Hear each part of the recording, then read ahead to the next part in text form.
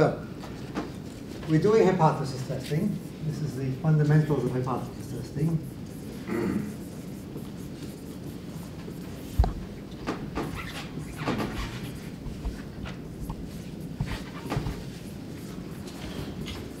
And in hypothesis testing, we have a population that we care about.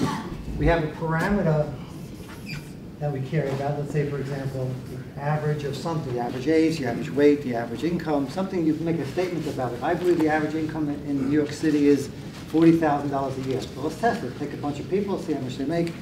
But we have, we start out with a, a, a, a statement. So the population we're going to use in this example is the random number table. The average, which of course we know, if it's a good random number table, which goes between 0 and 9, should be 4.5.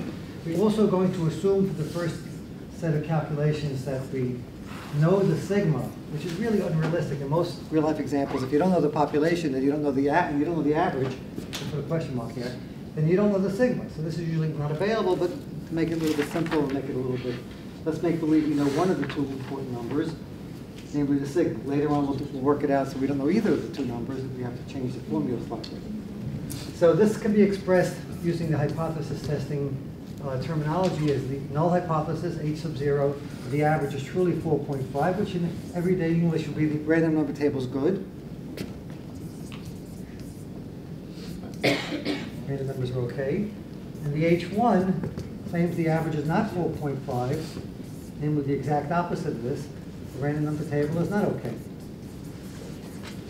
I really shouldn't say the table because we're, real, we're also testing at the same time we're testing Excel. Because Excel generates random numbers. We can say, does, gener does Excel generate a correct bunch of random numbers so the average is truly 4.5?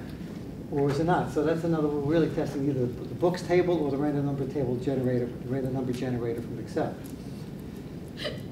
So the logical thing to do in this case is to take a sample from the population and calculate, get those numbers, whatever they happen to be, calculate the average of the sample, and if the sample is close to 4.5, we're going to say, you know what, we're giving, since we're giving the benefit of the doubt to the H0, and the H0 guys claim everything is okay, that's no problem here. And since in real life you never exactly get the average of the sample exactly perfectly equal to 4.5, that's too much to expect. So if it's close to 4.5, then we're going to accept the H0, but if it's far from 4.5, then we're going to accept the H1 or reject the H0, it's technically called. So the only question we have to talk about is how close does it have to be? 4.6, well that's pretty close.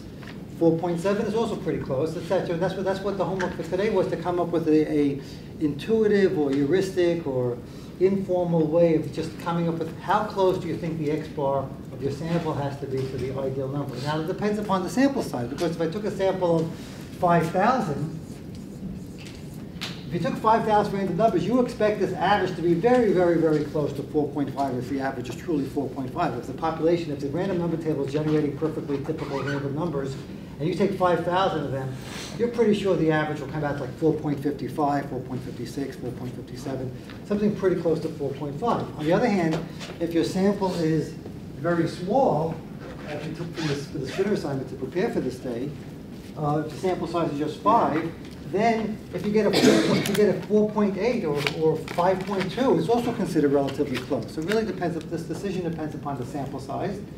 It depends upon the sigma, because if these numbers are all over the place, sigma refers to the population spread. And when we have a population that goes from 0 to 9, we quantify that as a sigma of 2.87. If the sigmas were even more, even more variable, then the x bars will also be more variable, in which case you'd have to give yourself even more leeway. So the amount of leeway depends upon the sample size, depends upon the sigma, and finally, it depends upon something which we, you know from stat one, which I didn't mention yet.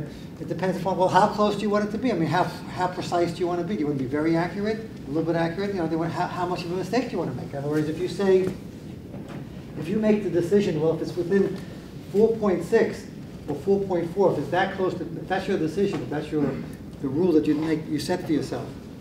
Well, then there'll be many, many times when you're going to end up with a perfectly good table, but an average of 4.7 or 4.8 or 4.9 or 5.2 or 5.4, that's going to say reject that table, reject that table, reject that table, which means you'll be coming to a, a wrong decision.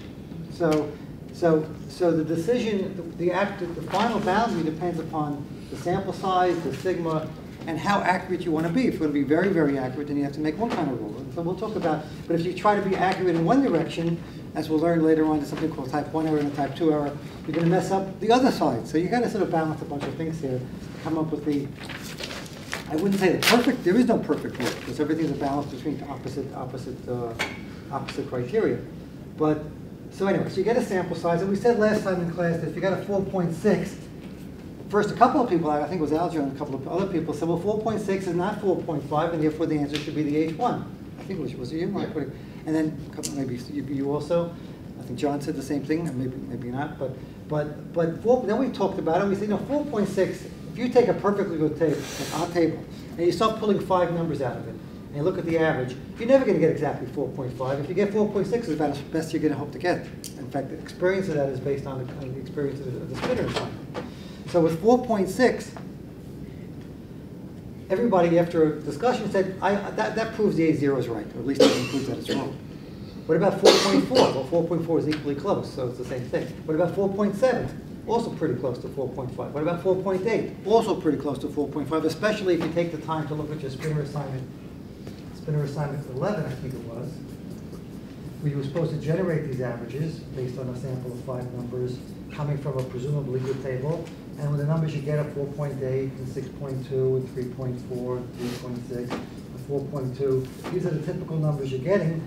And 4.6 is, you know, sort of right in the middle of all those numbers. It's not considered a, a, a ridiculously number.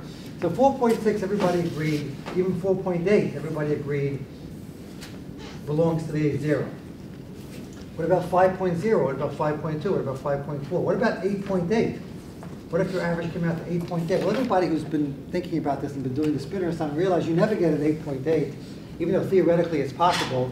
That's probably evidence of some kind that the table that we're pulling numbers from is probably an unusual table. Because if you never get an an 8.8 and you actually found an 8.8, that's something strange is going on. So 8.8, everybody who's been paying attention on Friday said we belong, we believe the H1. The only question is, at which point do you change your vote? Do you change your vote to five? And Because at some point you gotta switch over. Here I believe the H, the H zero. Five point zero, maybe I still believe the H zero. Eight point six, I still believe the H one. Eight point four, I still believe the H one. At some point, you're supposed to switch over your vote. If you just think about it logically, there's gotta be a switch over. So that was, the- that was the homework for today. Spinner assignment, what what was that, seventeen? Spinner assignment number seven, sixteen was to come up with that boundary. So I was actually thinking of asking the class to hand in their boundaries to see how many people are taking the homework seriously.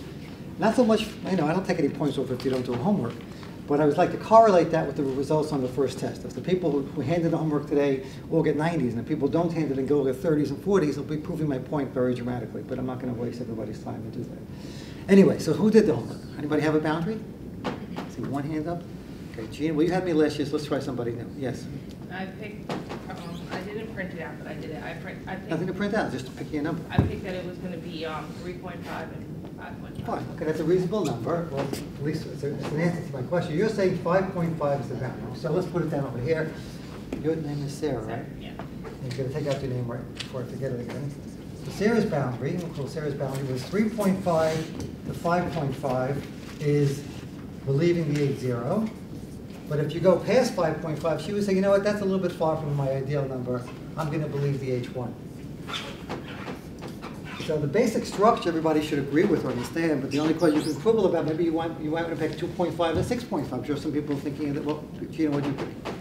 Yeah, we actually picked the same thing, three point five, five point five, and then, uh, Okay, so, so we have a couple, so, so let's spend the next ten minutes analyzing if Sarah and Gina's and whoever else thought of these numbers, uh, picked a reasonable pair of numbers, because again, there's no perfect answers. The only question is what's, what's reasonable versus what, do you have any questions, by the way? Would you care if I write on the back? Yes. I got a boundary. but It's the What was right, yours? uh, two and seven. Yeah, because you remember from last year, you were two- Okay, so let, anybody, anybody else have another boundary who did this homework, uh, you know, so to speak, from scratch? Anybody else have another pair of numbers? Okay. All right, so good thing I'm on camera, so I'm, I'm not gonna rant as much as I usually rant I'm on camera, so. Okay, um, because again, you know, okay. So the point is, the point is, the point is, the point is, that you understand the, the import of this, que- you understand, how- if you would have done the homework, now, now again, what's the best way to do this? Of course, if you do the formula from stat one, or you re- relearn the formula, you plug it in, you come up with the perfect boundary. Or, another way of coming up with